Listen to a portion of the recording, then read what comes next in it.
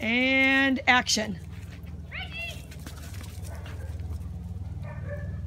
Hey, you got one. You got Nilla.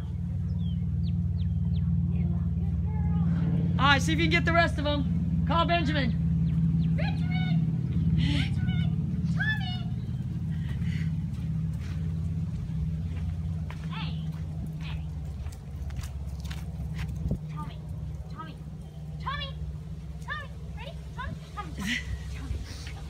It's not easy.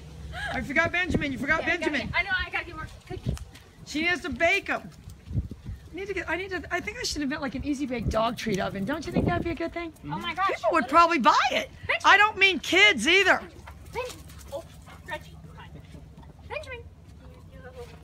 I think people would buy an easy bake dog oven, dog treat oven. Oh, for sure. Because we guilt them into that. Their pre- if their pet doesn't have fresh baked treats, they're not a good pet parent. And I said the future is electronic. So a little pet easy bake oven with your recipe. Yes. Okay.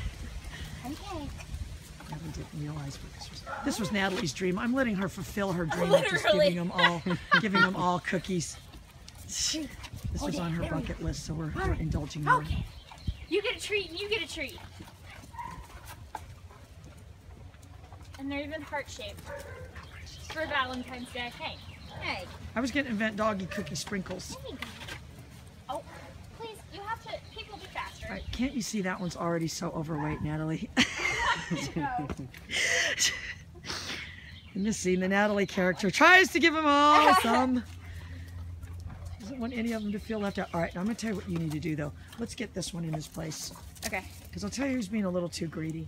Get him over there on his cot. Reggie, in your place. In your place. Down. Good boy. The Pied Piper.